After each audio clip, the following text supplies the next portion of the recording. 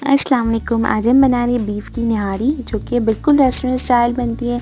सो आइए स्टार्ट करते हैं। पहले हम होममेड निहारी मसाला रेडी कर लेंगे, जिसके लिए धनिया साबित टू टेबल स्पून सौंफ फोर टेबल स्पून तेज़पात दो, काली मिर्च साबित वन टेबल स्पून लौंग वन टेबल स्पून जायफल और जावत्री का मैंने छोटा छोटा पीस लिया था और सौंठ का भी मैंने छोटा पीस ले लिया था।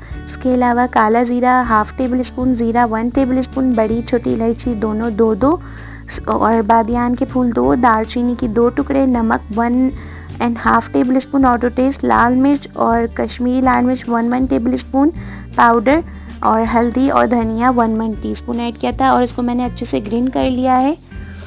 यहाँ पे मैंने हाफ़ कप घी लिया है और दो टेबल स्पून मैंने ऑयल लिया है दो टेबल स्पून मैंने आटा लिया है।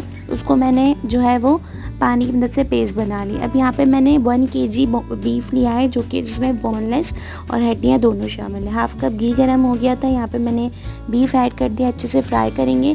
जो होममेड मसाला है, वो मैंने हंड्रेड ग्राम से ऐड किया है। इसके बाद मैंने लहसुन, अदरक का पेस्ट और आटे का जो मैंने पेस्ट बनाया था, वो ऐड करके अच्छे से हम इसको भून लेंगे। इसमें मैंने चार ग्लास पानी ऐड कर दिया है और इसे अच्छे से बॉईल आने दूँगी। जब बॉईल आ जाएगा तो मैं इसे हल्की आँच पे ढक के पकाने रख दूँगी। एक से डेढ़ घंटे में बीफ गल जाएगा। फिर आगे के स्टेप उसके बाद हम करेंगे। जी तो एक से डेढ़ घंटा हो गया और बीफ ऑलमोस्ट अच्छे से गल गया है। अब यहाँ पे मैंने फोर टेबल स्पून आटा लिया। अगर आपको ज़्यादा थिक पसंद है तो आप सिक्स ले सकते हैं but I think four is enough है, क्योंकि फिर बहुत ज़्यादा थिक हो जाएगा। इसका मैंने पेस्ट बना लिया है, अब इसको मैं निहारी में ऐड कर दूँगी और विस्कर की मदद से इसको अच्छे से फेंट लूँगी ताकि इसमें लम्स ना रहे। जी, और मैंने फ्लेम जो है अभी बिल्कुल लो कर रखी है।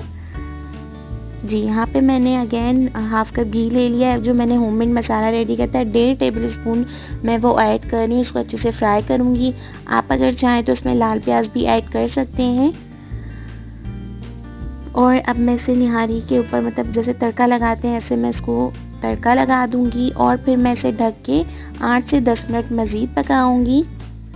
सो ये बिल्कुल रेडी हो जाएगा और सेम टू सेम इसका बाज़ार वाला टेस्ट आपको मिलेगा। आप चाहें तो पैकेट का मसाला भी यूज़ कर सकते हैं या फिर आप ये होममेड मसाला बना के रख सकते हैं। जी तो आठ से दस मिनट हो गए हैं और ये तैयार है हमारी मज़ेदार सी निहारी। आप इसे ज़रूर ट्राई कीजिएगा। और मुझे अपना फीडबैक दीजिएगा। लाइक और सब्सक्राइब करना ना भूलिएगा। Keep smiling and thanks for watching अल्लाह हाफिज़।